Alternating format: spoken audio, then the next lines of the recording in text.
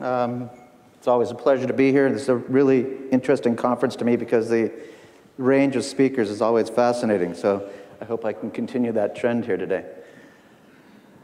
Before we start today, I wanted to explain a couple things about who we are and what we do. Um, the Emerging Trends Report only writes about long-term investment trends. They have to run for a minimum of 15 years, and they were all anomaly-based.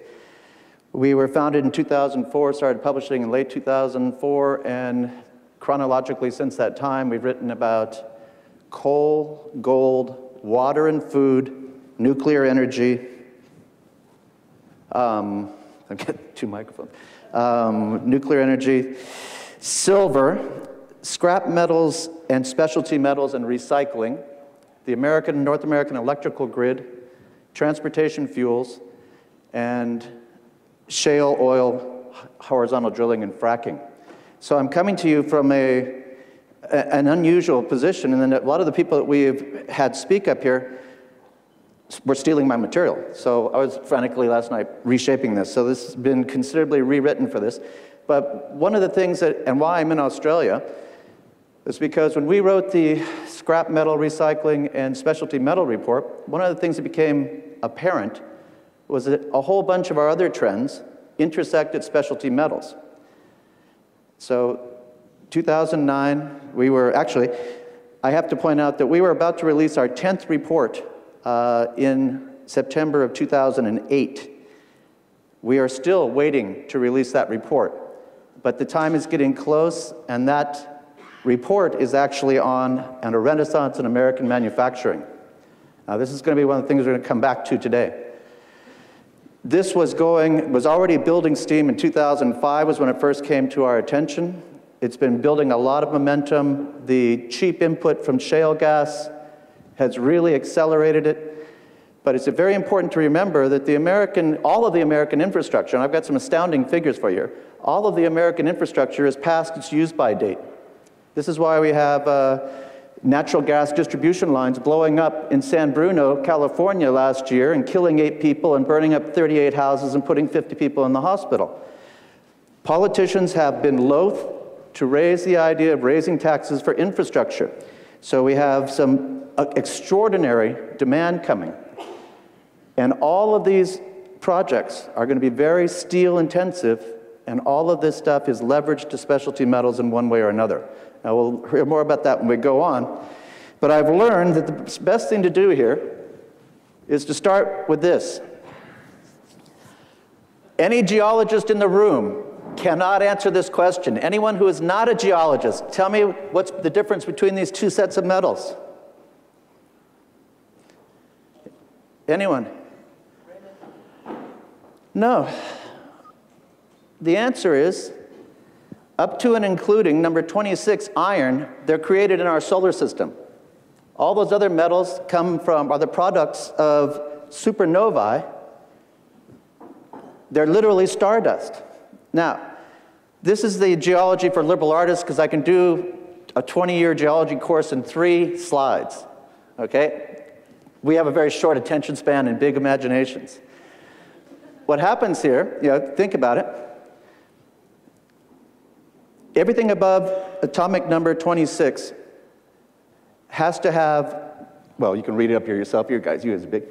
It can't be formed by fusion, by nuclear fusion. It has to have neutrons and protons absorbed to it by unfathomable, we can't even imagine the pressure is necessary and the temperature is necessary to do that. But it happens at the end of the life of every star. When a star goes supernova, this happens automatically. It's massive. We, we, we can't even, there are not words to describe the size and scope of these explosions. They're so big and they're so far away that this one was found 400 years ago. We're still seeing pictures of it. It's that far away, it's that long ago. And what happens is all of this interstellar material, ash, you can call it ash, dust, whatever, is created and dispersed in an interstellar cloud. Our solar system forms, by the condensation and concentration of these things. The sun, our sun, picks up 99% of it, gets lit off, and all the rest of it is floating around our solar system, gradually forms planets and whatnot. Uh, here's another, there's a quick one for you. Okay, Colli- oh, they can't read it all. Um, collisions and stuff, gets, get down the bottom is the important thing here. The material remaining outside the sun has undergone one or more of the following processes. You got oxidation, accretion, melting, segregation, and fractional crystallization. And what happens next? It bubbles up to the surface in this endless cycle, these whole different kinds of transportation mechanisms that in the process of, of transporting these chemical compounds to the surface and then subducting them again up and down, over time they get concentrated, over a lot of time. They're not making any more of these. So what happens is as these compounds congregate into essentially ore bodies, a few of them, very few of them, are economic to mine. But the probability of any of these elements with a number of 26 or higher forming in itself is infinitesimal. I mean, the, the, have more decimals on it you shake a stick at. That's why they're so scarce, and this is why they are so precious to us. You cannot understand any of this stuff if you don't get this.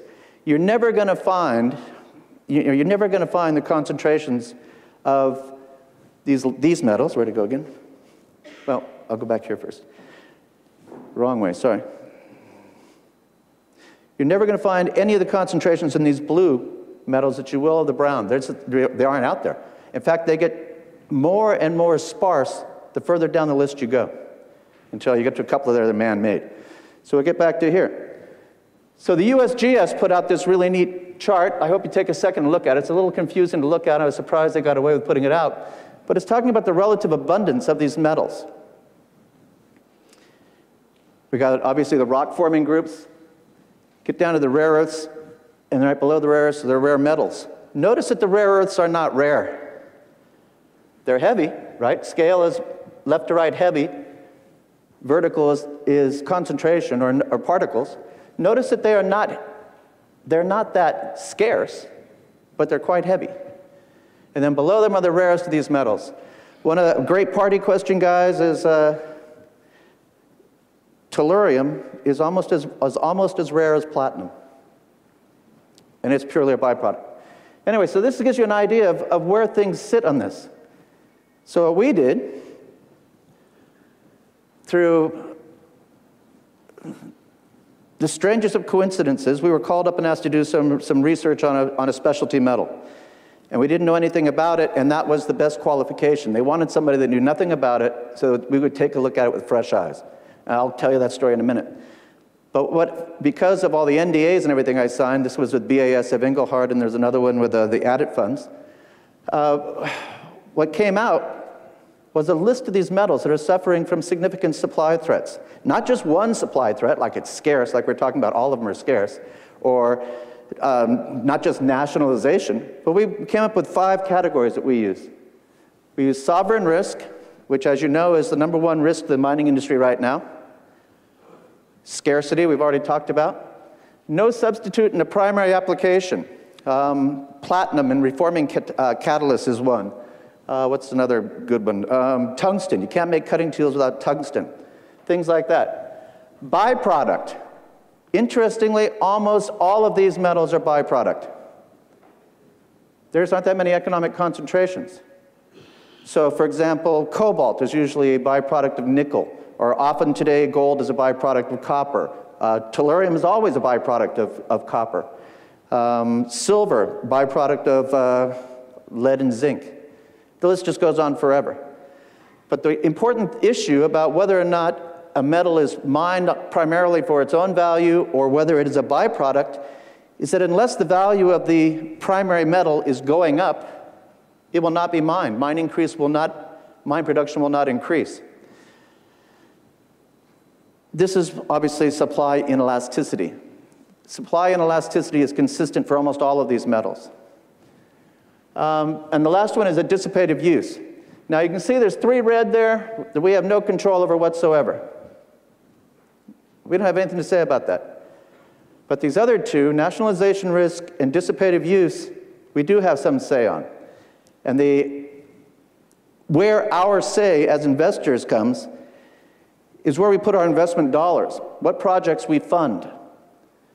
Now, I would submit to you that anybody who believes in a, a sustainable economy or a sustainable planet that does not recycle metals has a very serious disconnect from reality. The beautiful thing about metals is that they are infinitely recyclable. And to do so is cheaper than it is to mine fresh ore, process it, and produce it. But we don't. We're lazy. We want the latest, greatest. But these stars are lit, and we're talking Crosby, Stills, and Nash here, guys. This is stardust. We're pissing it away. So we're going to come back to that in a second. Now, a quick run through of this. Some of, you guys some of these guys are old friends. They've seen these presentations before, so I'll go through this really quickly.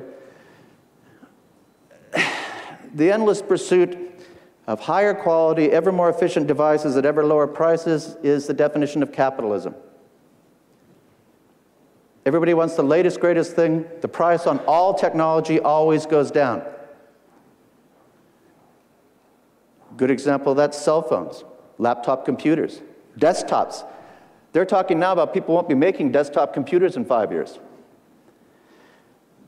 One of the key drivers of this, and one that I harp on all the time, is that the technology industry, in and of itself, has created the drivers that we are seeing now for the use of these metals. Now, that's a very important thing to remember. In the early 90s, we had an explosion in computer processing power. Mid to late 90s, we had an explosion in analytical and modeling software. And then starting in 2003, we had an explosion in hard disk drive capacity, and all of these were occurring at literally plummeting costs. You can buy two terabyte hard drive now for $79. It's, you know, and these things are possible because of the magic qualities of these specialty metals. It's, it's literally magic. They put these things together in a, in a magic soup, and they can change the performance characteristics of these metals. I am uh, having more luck with my five-year-old daughter right now than I am with my 12-year-old and nine-year-old sons, but I'm trying to steer them into metallurgy and material science because those are the two drivers for all this technological innovation that we're seeing. It is not, it has not been. You know, we just, uh, what's his name? Zuckerberg's IPO just went off. Those days are long gone when it comes to technology. Software that still, you still might get kids in garages doing neat stuff. But right now, the stuff you're seeing in your iPhone, the stuff you're seeing in your iPad, the stuff you're seeing on you know, phase change memory devices, you know, they're going to, be, that's the next, uh, I think I, I, here. This is old hat. Your USB stick, your flash memory. Next generation is called phase change memory. It's gallium, tellurium, and antimony on a silicon base. What it does, it can never fail because it literally changes phase. When you write something and save it, it gets locked in. So if your power cuts off, you break it, it's still there. That's what's going to replace this. You also get incredible densities on a very small space. These are the things that are coming at us. And they're coming faster as a product of metallurgy and material science. These are very, very big, very, very well-funded laboratories. I mean, billion-dollar budgets. They're all over. Japan is big in it. Europe is big in it. The United States is big in it. The big players in it right now are the guys like Heraeus, uh, Johnson Matthey, Umicore. They are doing some of the most sophisticated chemistry on an industrial scale that man has ever done. Very good investments, nobody pays any attention to them. Anyway, so the next thing on here, I'll come back to this in a second. Um, I just covered scarcity and byproduct sourcing, um, dissipative use, recycling I mentioned. I would like everyone to, if you take nothing else away from what I'm telling you, I would like you to remember this. By and large, specialty metal demand is not GDP correlated. It's not. It is purely discovery driven. These guys come up with these really cool ideas. They say, I need this metal. They don't even say how much or what purity. They just say, we need this. And they start ordering it, ordering it like crazy. Now, I always, I always use this as the example, mostly because it got me interested to start with, and I, I follow it because it's just fascinating to me. It's fascinating to me. Ruthenium is the, well, I guess it's not the, it used to be the minor platinum group metal. When they went into a, a deposit in South Africa and they started processing it, you know, they were taking out the nickel and they're taking out the gold and the platinum and the palladium and the rhodium, you know, and it's getting kind of scarce in there. So finally they're getting down to the osmium and the iridium. And when they got all done, they had some smoke. And that smoke was ruthenium. It was so unimportant for so long, the South Africans didn't even track how much they produced. Some years they didn't produce any. We still don't know how much they have because they just keep selling into the market every time the price takes off. But what happened in, this, in the sense of hard drives here, which is fascinating, was that this guy who was working for Hitachi read a paper, and this paper changed the world. If you see on here, the first thing on the list that they used uh, ruthenium for as a great stabilizer was third and fourth generation superalloys. Now, these superalloys are nickel, cobalt, vanadium, tungsten, molybdenum, rhenium, and now ruthenium. But what they found was that when you put this soup of metals together, you could take these temperatures, used mostly in jet turbines and power plant turbines, up to extreme temperatures, very, very high temperatures. And going to such an extreme temperature meant you got a more complete fuel burn and you produced less, less pollution. It improved the economics through temperature. The problem was the magic ingredient for third generation superalloys was rhenium. And if you remember that chart before, rhenium is one of those metals down there with the uh, very rare with the platinum group metals and tellurium and, and tellurium. So what happened was they found out that if you put rhenium in this soup, you could raise your operating temperatures. And you could raise them and raise them and raise them. They went through a whole bunch of, of iterations until they reached a point where they had so much rhenium in it, the whole alloy was becoming unstable. And they thought that was the end of the road. And somebody else came up with this idea well, hold on. Let's just try some other metals. There's got to be something we could put in that, in that soup to balance out the instability of the rhenium. And lo and behold, they found that ruthenium did it. So by adding, ruthenium plays no structural role in that alloy other than to calm down or stabilize the rhenium. And in so doing, they got the next step change in temperature, operating temperatures out of these things. Now, this is, this is a very critical thing because in the airline industry, and I'm going to come back to another story about the airline industry in a second. In the airline industry, 1 or 2% weight savings or 1 or 2% in improvement in your fuel economy is the stuff guys retire on. This is big time. So this guy at Hitachi, for whatever reason, you know, he's probably an engineer, who knows why they think the way they do, um, read about this, and he said, well, hold on. We've known that we can, we can we've known, and that the, the current methodology is we stacked all of our bits horizontally or longitudinally. And that was the guiding limit on how much data we could put on a hard drive. They've known since the 60s that you could stack it vertically, but it created two problems. It became unstable, and it couldn't take that much magnetism in that dense a place. So this Hitachi guy said, well, hold on. This platter's got like 12 metals on it, and lo and behold, guess what? It's got a little bit of platinum, a little bit of vanadium, you know, three or four of these metals were also on that platter on a hard drive. And he said, well, it worked on turbines, let's try it on hard drives. And lo and behold, switching to vertical or perpendicular bit stacking is how we have this improvement. That's an exponential logarithmic growth in hard disk data. I mean, think about it. 1999, I remember a two gigabyte hard drive was almost $1,000. Now you can get two terabytes for 79 bucks. This is extraordinary. And it was all enabled by ruthenium.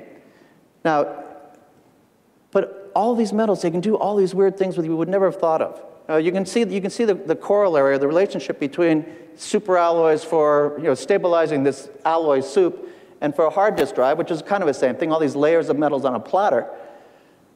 But then they started looking at it, and one of the really trippy things about ruthenium is your body thinks it's iron. So now what they're doing is they're making nanotech lattices out of ruthenium, and they are hanging extraordinarily toxic but very small doses of cancer treatment on it. They inject it near the cancer. The cancer is like a black hole that sucks everything up around it. The ruthenium bearing the toxic uh, treatment gets sucked into the cancer. The change in temperature sets it off. The cancer, the treatment is released. Voila. This is going to be a very, very big thing. They also use ruthenium in artificial photosynthesis. Anybody who follows the solar industry knows that the Europeans have been on this for years and they can't quite get the economics right, but it's still one of the metals they're looking at and using for this, in this regard. Now,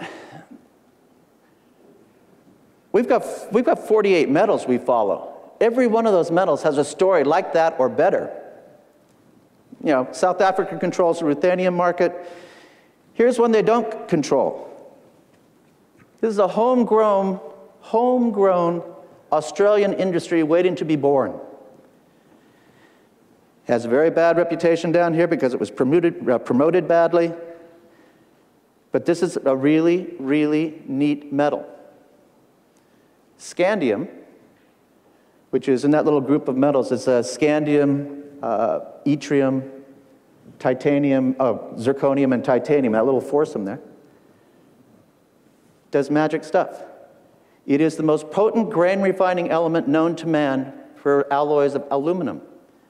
The most important thing is it, you put 98% aluminum and 2% scandium in an alloy, and what you have is something that has, it's more flexible, it's stronger, it has the best strength to weight ratio you can get out of aluminum, and most importantly at all, it changes the grain structure so that it can be welded without heat cracking.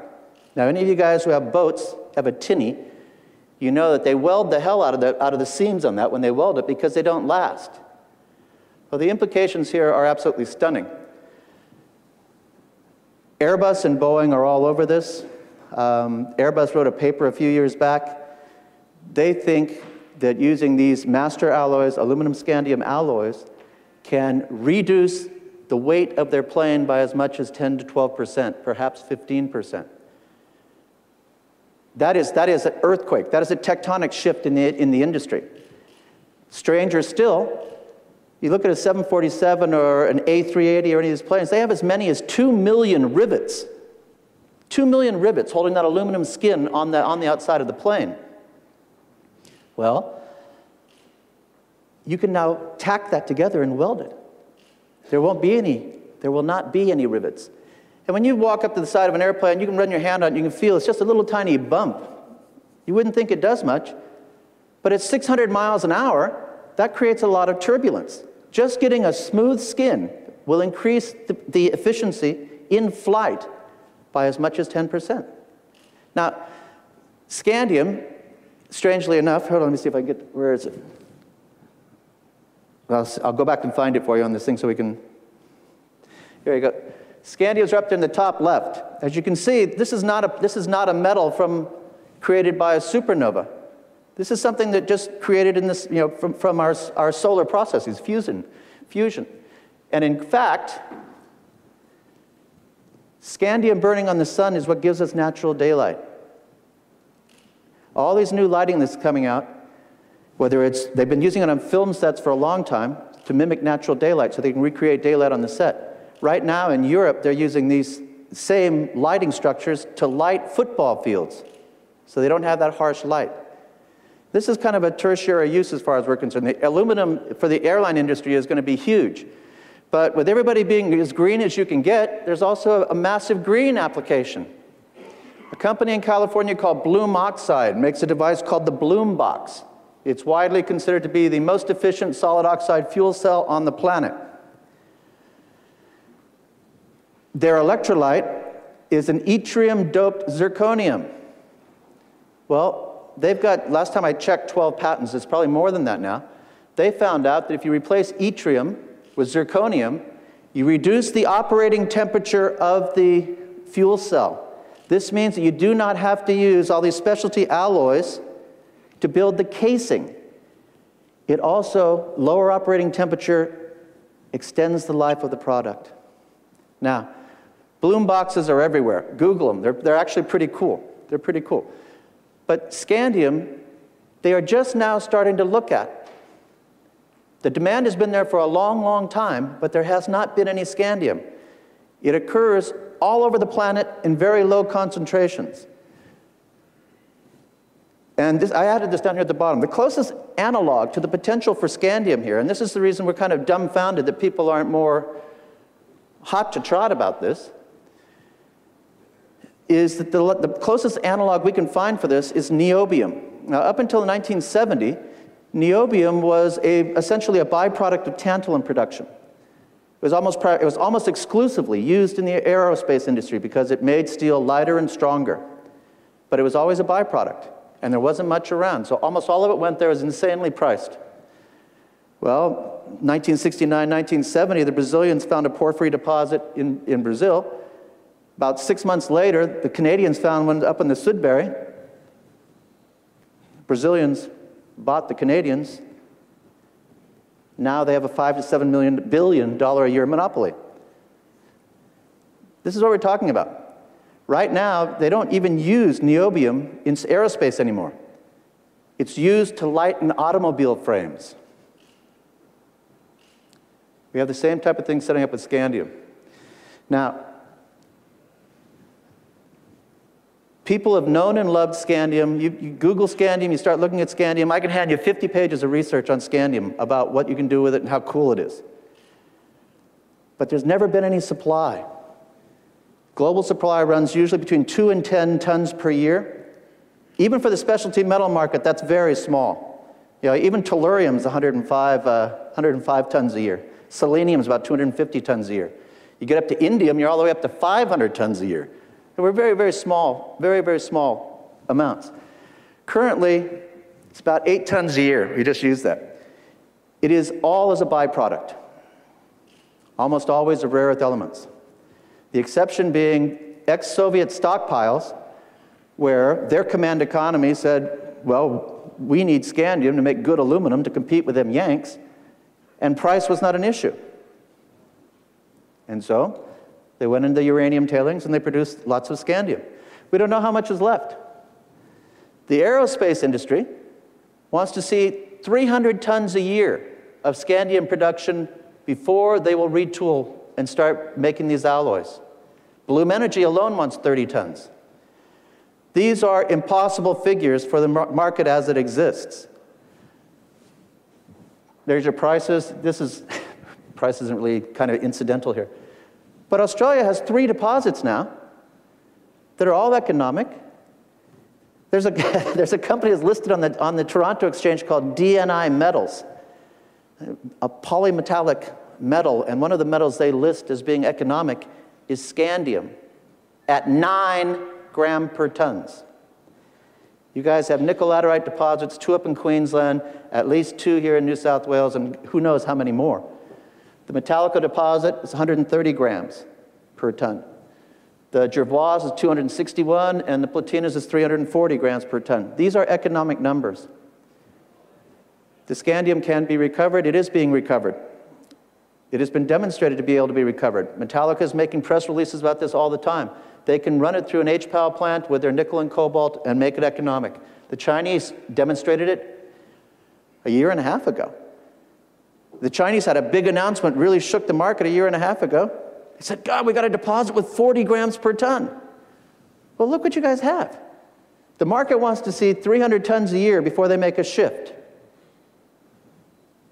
Well, with a 90% recovery rate, you guys can produce at least 390 tons of metal or 630 tons per annum of scandium oxide. And that's a 20 year production horizon and that is with absolutely no further exploration success. And I'll bet you anything you're going to find a lot more. Now, the specialty metal market, this is a good lead into why isn't Metallica's stock at $5? Why isn't Platina at 3 or $4? Why isn't, well, Traverse has got 18 billion shares, so why aren't they 50 cents? But my point is, the market gives, has no confidence whatsoever in any of this stuff ever being produced. And especially for the last, what, since about this time last year, all the commodity prices seem to peak, specialty metals, anything in specialty metal bracket, because it is so hard to finance these projects, they've just been killed. You can buy Metallica right now for about 50% less than its NPV. You can buy Platina for, oh man, I'm running out of time. You can buy Platina for pennies. These are strategic investments. Very important strategic investments. There's a, it's, it's a real cliche. People say you're the Saudi Arabia this or the Saudi Arabia that. Well, you guys really are the Saudi Arabia of scandium. This is going to be a very important metal in the future. And it's going to happen. Nothing is going to stop this from happening. It never, ever gets stopped. It's just how long it's going to be slowed down for. I own all three of those, by the way. So, why is this bull market so hard to find? Well, there is a lot of mis and disinformation in the market. The prices that producers pay for specialty markets are a trade secret. So when you call up uh, any of these any of these companies, or you read a quoted price for, you know, selenium or or ruthenium, they're pulling a number out of a hat. They got no clue what the real price is, because that is a very important trade secret between that producer and that, uh, that guy who's going to use the scandium or the metal and that miner. So it's, it's very difficult. The murking is a, is a gross exaggeration. It's about as clear as mud. These projects are very hard to finance because, from a commercial point of view, you can't hedge them. So, in the case of Metallica, who, is, who has announced they're going to try and get a, an HPAL plant funded, well, they're going to be able to hedge their nickel and cobalt, but they can't hedge their scandium, and yet scandium is going to be one of the major drivers on their profitability. Um, I've already mentioned this. Uh, as a byproduct, a lot of these things are sold forward. You need to look no further than silver. Right? Silver's been sold forward for so long, you know, it's just scary. Everybody knows that story. The pricing is discovery driven. Again, an important geopolitical thing that actually at the symposium two years ago, the gold symposium two years ago, when I talked about specialty metals for the first time down here, I said, I predicted that China was going to go to the, the World Trade Organization for their behavior with these metals. At the time, we were talking just about rare earth elements, but I said right then, no, there's going to be other metals because they also control antimony. They also control graphite. They also control tungsten. You can go right through a list of 14 metals that they, they control more than 80% of the world production of. These things, this is such an important aspect of the economy. Nobody has a clue about how to get them, how to process them, or how to secure your supply lines. And this is coming. Now, of course, on top of everything else, now we've got problems in Europe. We have serious problems in the United States, I'm going to talk about in a second. And we have very significant problems in Japan, which you'll see here in a minute. The BRICS, why they ever added South Africa is a mystery to me, but the BRICS are slowing. That's probably a nice euphemism for who knows what's really going on over there. Um, I'm running out of time here. I want to blaze. So these are just some uses for these electronics things, and the part that was most important is gone anyway. Um, so we'll just go here. Wow, we went too far. I would like you to take a second and look at these concentrations. Metals are infinitely recyclable. Your cell phone, depending on what brand it is and how sophisticated it is, is going to have somewhere between 30 and 65 specialty metals in it. Look at the rate we're throwing this stuff away. Your old laptop computer is going to have at least 30 or 40 specialty metals in it. Your old, your old uh, desktop, I don't remember that phrase anymore, the same. We are just throwing them away. This is criminal. We live in a world where everybody wants to be green. We live in a world where everybody wants to uh, think about sustainability. And yet, these metals, which are so finite and so few, we're just pissing away.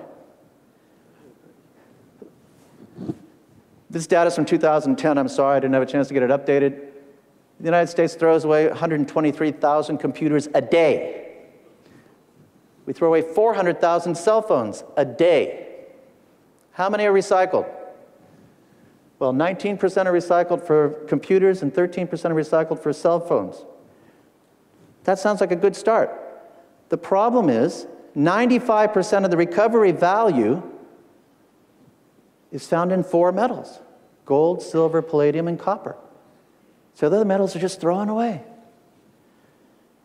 Now, to their credit, to their credit, Umicore is working very diligently on recovering these things. They're up to 14 metals they can recover now.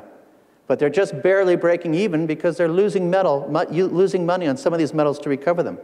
There has to be a concerted effort or we're going to lose all of these materials, all these specialty metals. Uh, this, is, you know, this is very serious. I mean, we're not just talking about you know, running out of coal or, or natural gas. We're talking about things that aren't even from our galaxy, I mean, aren't even from our solar system, that took eons to concentrate. They are some of the most wonderful materials on the planet, and we're pissing them away. There's no excuse for it. I'm going to end of lecture. Another big, another big driver we've got coming here is actually what's going on in the US. Now, we've had, uh, Claire gave a great talk on fracking um, and, and all the communication aspect of it and everything. We've done a lot of research on, on oil and gas. We, we, I would like to draw your attention to the third point there. The internet is giving us so much mis and disinformation, you don't know who to believe anymore. Peak oil was an extraordinary feat of prediction by Hubbert. It was a great, excellent piece of modeling. And it worked not only for an oil field, it worked for a whole bunch of conventional oil fields.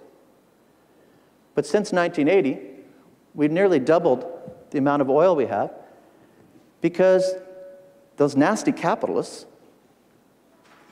they went offshore. They went deep offshore. They went to the tar sands. Now they've gone to shale. And there's a lot of oil. There's a tremendous amount. However, to give the, you know, to nod to the green, and you know, the green movement, there is no doubt whatsoever that the mining of tar sands is an ugly affair. But I would give you it's not all that much uglier than the super pit. More importantly, and what the green agenda does not promote, is that more than 50% of the oil, oil that is withdrawn from the oil sands these days does not come from mining operations, it comes from in situ recovery. Another bit of very clever technology where they drill down into an oil seam, run two pipes parallel to each other, inject steam from the top one to heat up the oil in situ, and then they suck it out. There's no hole in the ground. There's no remediation. It gets overgrown almost overnight. It's beautiful. The next generation in this movement, in, in this technology, is they are now embedding catalysts in the, the, the uh, withdrawal pipe. So it's getting processed in situ at these temperatures, you know, 600 degrees Fahrenheit. That's the lowest temperature possible to start putting in some reforming catalysts. So they're doing some of that in line. Now, the Canadians can't buy a break. They can't buy a break. It's, it's, it's actually too bad. How many people in here know who America's biggest oil supplier is? Who? Canada. It is Canada. It has been Canada for a long time. Saudi Arabia falls in and out of the top five. Interestingly, how many people in here know that Hugo Chavez and his hatred of America he is always either our second or our third largest supplier of oil. Do you know why? His oil is so heavy and so ugly and so sulfur ridden that no one can process it. So Americans just, they absolutely and utterly disregard Hugo Chavez because he's marginalized himself with what he's doing. He nationalized old plants, old refineries that didn't have the capabilities to actually make him be able to pick up his own industry. He's alienated everybody through nationalization. He's really proud of the fact that uh, you know, the Chinese are going to take 50,000 barrels a day and learn to do that, what the Americans have been doing forever. Guys, get a grip. Everybody thinks about America being a technological company, a country. That's absolutely right, but it's not just computers and software. We know oil and gas better than anybody. There's a great three-dimensional, great three-dimensional picture of oil wells. And the United States looks like a pincushion. There have been more wells drilled in Texas than in the rest of the world alone. We develop 3D technology. We develop all this stuff. The oil industry is a very sophisticated technology investment. It's one of the reasons it's so expensive. So we've got, you know, the US just became the world's biggest gas producer. We're now number three on the oil list. The shales, you know, I included this $1 trillion uh, estimate because I saw one that was 1.8 and one that was 0.8. So I took the middle one. You know, you choose which one you want to believe. But there's a lot of it there. We're demonstrating it's, it's, it's infinitely recoverable. And it's going to go everywhere. So what's happened?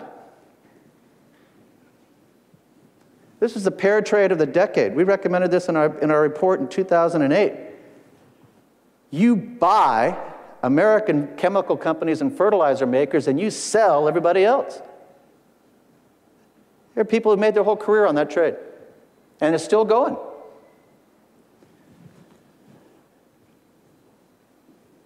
I hope you can read these numbers.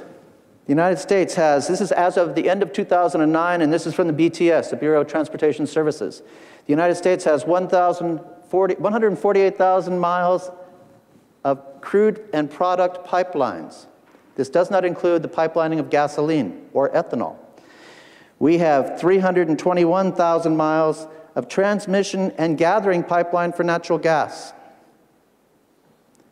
That does not include the distribution stuff. That's more than one and a half million miles of distribution pipeline in the United States.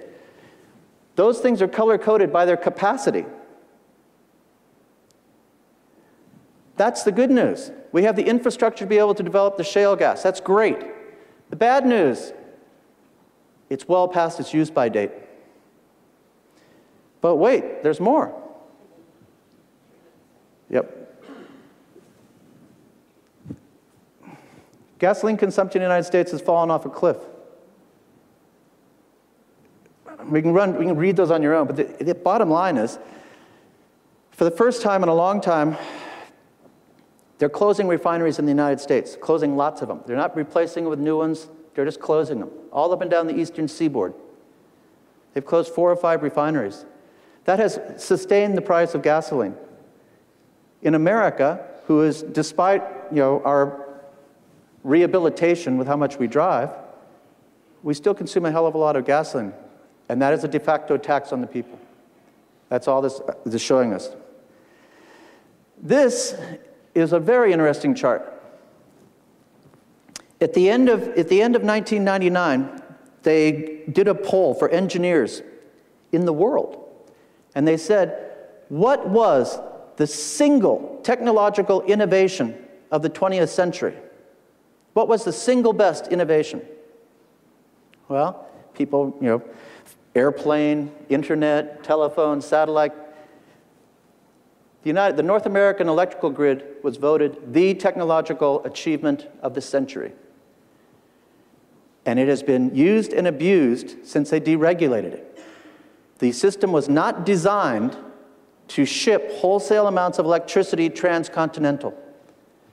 And the situation just got worse with the unintended consequence, albeit with the best of intention. See the increase in failures. These are NERC events. We are breaking our grid because we are dumping too much intermittent energy sources on it. That's the bad news. The other bad news is it's old and it needs large, large swathes of it need to be replaced. Good news is it's going to be placed, it's going to incorporate energy storage on these things, whether it's going to be something like a vanadium redox battery or these new molten batteries that a guy from MIT developed. Let me race through here because I want to get to what's important. Uh, this is inflation prices. This is where I wanted to end with. How stable is this? Read this for yourself. This is all true. Since 1980, the United States has created 160,000 laws, but only repealed 79. the longest book ever written, and they write it every year. It's the tax code. The number of federal employees has doubled in the last 10 years. That's the growth you're seeing in employment. They're all going to work for the government. But the strange thing is, it takes the tax receipt of 14 average Americans to pay the salary of one federal worker. Who's working for who? And this last one, this just came out in March. Regulations in general add $10,585 in cost per employee per year. How many people are going to hire into that? So, I'll skip through this stuff, you all know that. I love this. Only in America could the rich people who pay 86% of all income taxes be accused of not paying their fair share by people who don't pay any income taxes at all. Mr. Uh, what's John's last name? Uh, Anderson said it was 46% of Americans don't pay federal income taxes. That's wrong. It's 52%. 56% of Americans are on some form of dole from the government. We've had a war on poverty. We've had, well, actually, I have to go back and show that. We got to finish up. Okay. Anyway, this is Obama's slogan. My company specializes in picking up on trends. Okay? It is, it is wonderful that the United States elected a black man. It is brilliant. We're very pleased with that. Unfortunately, he has not delivered. Reform is in the air. When you get to a situation in the United States, we've had three prior reform movements, and what happened in each, in, in each case was you had the extreme left marching by the extreme right, saying exactly the same thing, but in their codified languages. That is always an indication of change on the horizon. The United States has not had a reform movement, an antitrust action of any significance for almost 100 years. We're overdue. And the movement is going to be towards smaller, less intrusive government. We don't need more laws. The global financial crisis would not have happened had they enforced the laws that were in place. So, I was going to let you ask me questions, but we're done. We're done. We're, done. we're done. I'm sorry. Thank Please you very much. Richard Karn. Sorry, sorry Richard, that's all right. No.